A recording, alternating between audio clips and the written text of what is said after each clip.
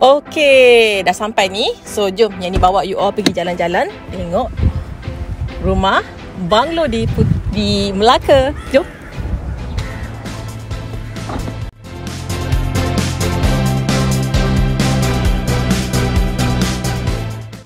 Hai, selamat datang. Okay, jom. Hari ni Yani nak bawa you all jalan-jalan dekat satu banglo di Melaka.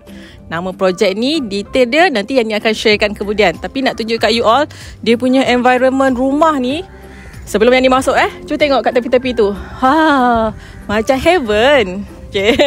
tak dia punya dia punya suasana tu nampak British style dan macam tinggal kat garden. You tahu tak? Okay.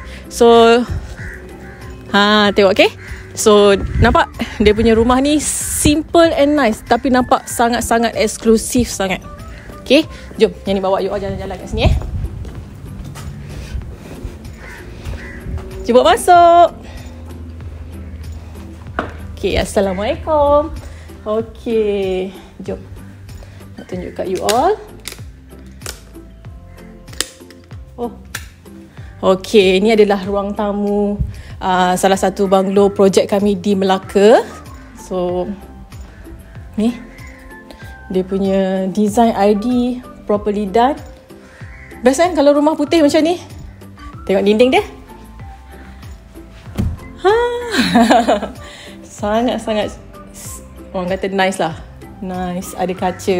Dia bukan skirting je. Dia ada kaca sekali. Jom. Dining area. Mak-mak, jom tengok dapur. Ha. Cuba you all tengok ni. Tabletop. Dry kitchen dan belakang kat sana dengan pintu tertutup. So, tak adalah masak ikan masin kan. Satu rumah berbau. Ha, so dia ada uh, divider antara kitchen dry kitchen dengan wet kitchen. Okay. Toilet untuk gas ataupun untuk orang dapur. Okay. Bilik gas. Hmm. Just nice bilik gas ni. Jom. Tengok ni. Hmm. Dia punya wardrobe. Makeup. Makeup punya area. Kat sini. Okay. Just nice. So kalau macam ada orang ah, kita ada parents yang duduk dengan kita pun I think just nice untuk untuk untuk size bilik ni. Mesti untuk guest lah kat sini. Jom. Okay, satu lagi bilik kat bawah. Oh, I think yang ni sesuai, lebih sesuai untuk parents. Sebab dia ada toilet kat dalam. So, dia ada wet drop. Hmm, cantik kan? drop dia kat sini. Nampak tak ni? Cuba dekat sikit dengan yang ni. Haa. Just nice. I think ini lagi lagi lagi lagi sesuai untuk parents kita duduk. Okay. Kalau macam untuk guest dekat sini lah. Pun boleh juga untuk guest ataupun parents lah. Okay. Tingkap dia. So you all takkan rasa bilik ni uh, kecil. Sebab dia ada tingkap tengok kat luar. Kat sini. Jom, jom, jom, jom. Eh, tengok kat yang lain. Toilet dia dia punya storing uh, store. Uh, okay. And jom kita naik atas.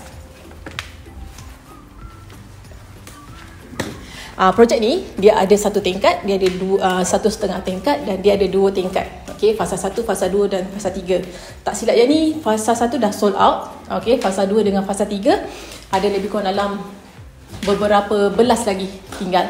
Okay, so kalau you all mencari banglo di Melaka, boleh tengok yang ni punya ni, boleh datang view unit ni. Wardrobe. Ni bilik lagi eh. Toilet. Wah, bestnya. Sini. Ha. One of bilik dekat atas. So, dua kat bawah. Satu, dua, tiga. Tiga dekat atas untuk bilik yang ni. Okay. Study and makeup table. Scotting punya wall. Okay. Sebelum tu, tengok toilet dia. Fully tile. Sampai atas. Okay, so Nice. Okay, sebab kadang-kadang toilet, dia akan tile dekat bawah je, separuh. Ha, ni best part. Study room or office room. Katalah macam kita nak MCO kan, nak work from home, this is the best place yang ada dekat rumah ni. So, tanpa gangguan anak-anak, kita boleh buat kerja dekat sini. Tapi still boleh tengok rumah kita. Ta-da! Okay, see? Oh, my, my, my, apa tu? My home, my office kan? Ada beranda, nak ambil angin, semua kat sini. Hmm. Best. Best kan? Eh.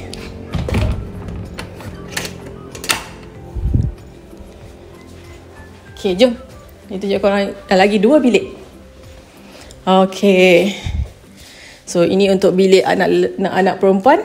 Dia buat style Japanese.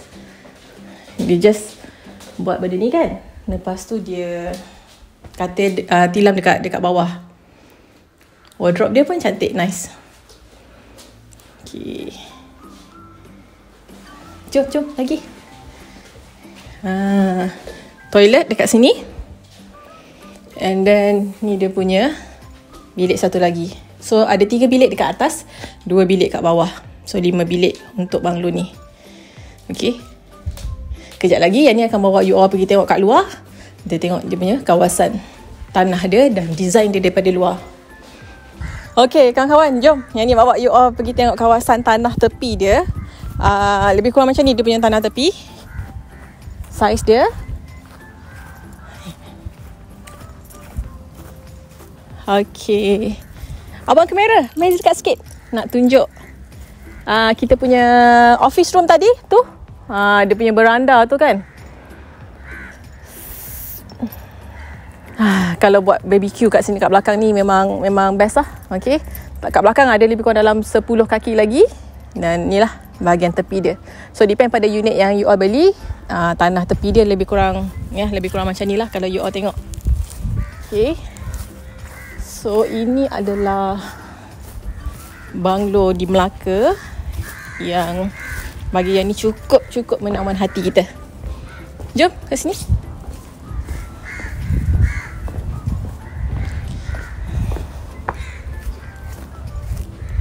Uh, konsep dia ada dua Ada yang berpagar Ada yang open space macam ni uh, Biasanya orang Putrajaya aja yang Eh uh, ada sebahagian juga lah Tapi kebanyakan macam yang ni Sebelum ni yang ni jaga kat Putrajaya.